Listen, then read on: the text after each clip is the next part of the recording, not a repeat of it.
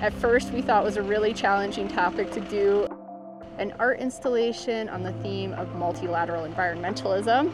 But then our team discussed it and um, we work with kids on the east side of Nairobi already, so we see these school tables and chairs frequently.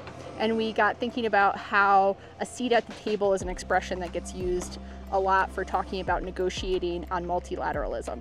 So we got 350 uh, children's tables and chairs, um, and we decided to make it into a maze because multilateralism can be complex to navigate.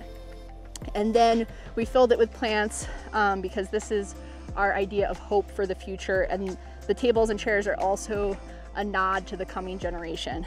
Um, when this installation is finished, all of the tables and chairs will be donated to schools on the east side of the city. Inside of uh, the structure is this maze triple circle uh, configuration that we've created. And all around you, you can see the tables and chairs where people can sit down. And during the conference, we'll have postcards um, that will encourage people to write their hopes and fears for the future of environmentalism. Um, after they write them down each day, at the end of the day, we'll go through them and we have a digital uh, Conga screen over here. So it's an interactive photo booth where we will be putting people's hopes and fears for the future. Um, and then afterwards, I think UNEP is going to find a way to archive uh, what people have written. As we were developing this installation, we were thinking a lot about what is the bigger meaning behind what we're doing.